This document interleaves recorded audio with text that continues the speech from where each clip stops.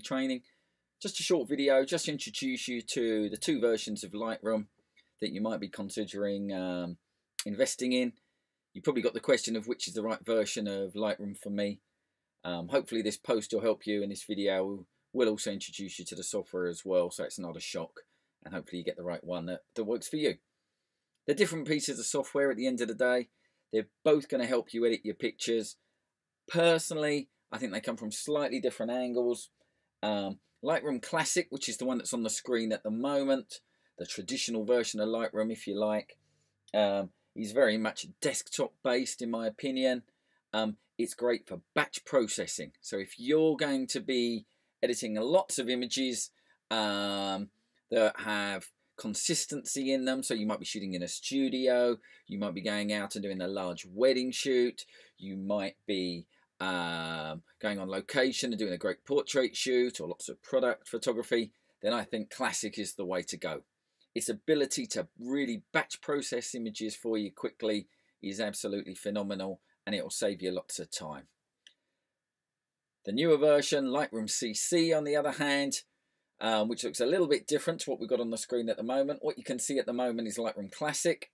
If I just pop down and show you Lightroom CC, um, has a different look and feel to it um, in terms of what's going on, um, the layout of the pictures and the flow. It's very much more a mobile based version. You get lots of synchronization across all your different editing tools. So if you're working on tablets, your phone, your desktop, then Lightroom CC is an absolutely great way to go. It's very streamlined in the tools you get. You get a similar selection to tools I just don't find that the batch processing works so well. You're tending to sort of copy and paste your settings. Um, on iOS now, so if you're using your phone, you can paste these to multiple images at once. But for me, if that's the route you really want to go down, your batch processing, then I think Classic um, is the way to go. This is Classic. Let me introduce you to it. Here's your main screen. There's lots of different modules here. I don't know if you can see these at the top. I'll move, wiggle the mouse around. You've got your library, your develop, your map, your book, your slideshow, print web. It can be overwhelming when you start to look at this stuff, um, but really it shouldn't be that much. You're mainly going to work with your library and your develop module. For most people I know, these are the modules they work with. Your library is how you can manage and control all of your images that you've got in your catalog. Develop is where you come along and start doing your editing. There's lots of options down here. Again, don't let this bewilder you. I just come over to this side panel. Lots of menus here. Just about everything you're going to do, you'll probably end up doing start with in this basic section. Don't be overwhelmed by it. We've got the ability to control the exposure and the brightness here. Some contrast.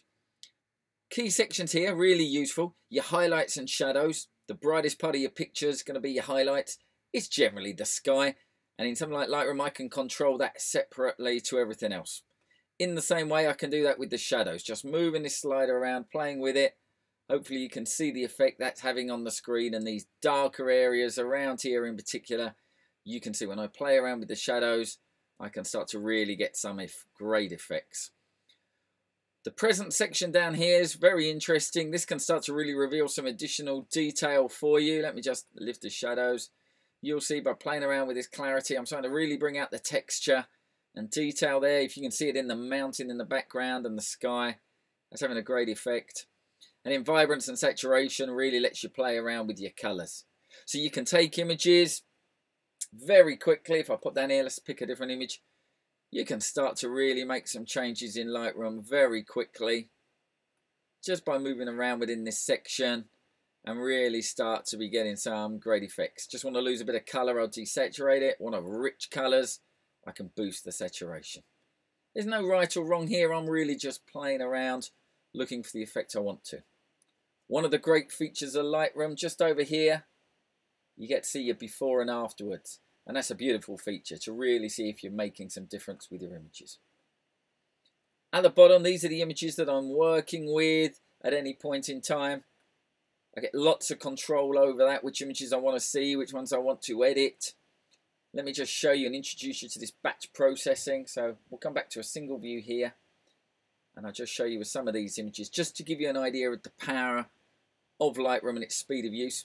Got some dark sections here. Again, the darkest part of a picture is going to be your shadow. So if I just lift that up, you can see lots of detail. I've lost the sky, not much too detail, not too much detail there. I'm just going to bring back your highlights here.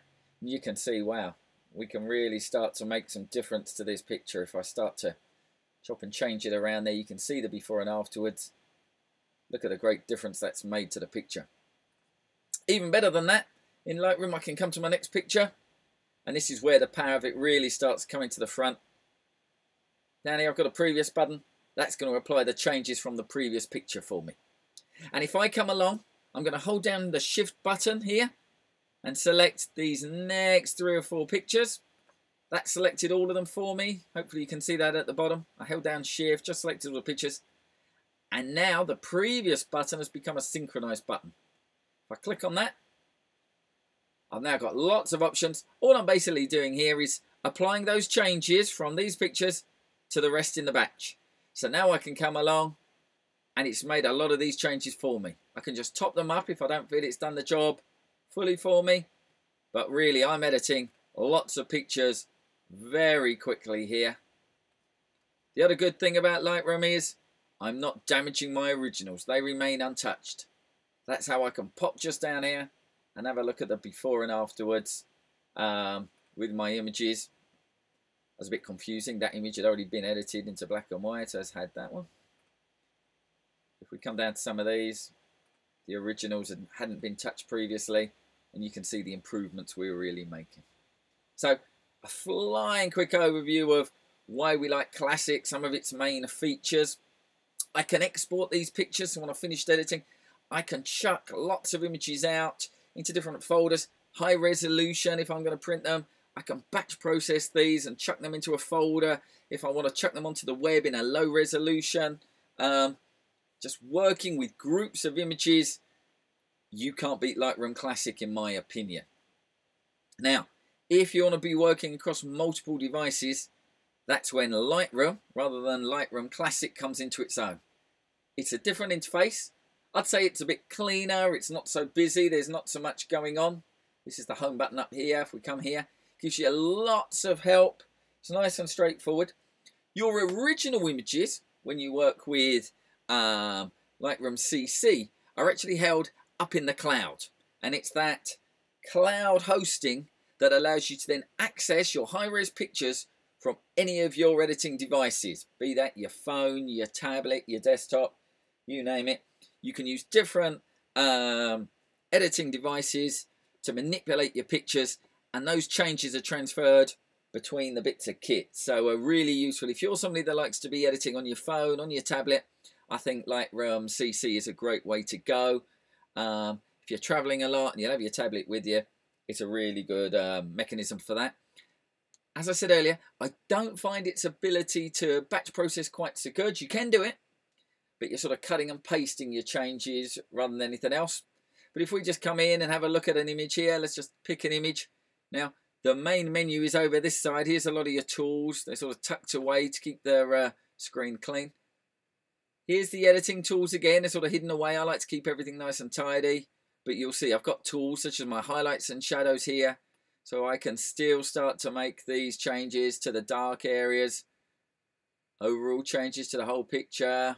If I want to play around with the highlights, if you remember that's the brightest part of the picture, I can do that. Can you see what's happening to the sky in the background without it overly affecting the brickwork on the inside of that image in the castle? So again, we've got lots of great tools down here. Again, you probably find if you're starting out, this is a very nice tool to work with. Start with not so many tools to uh, confuse you.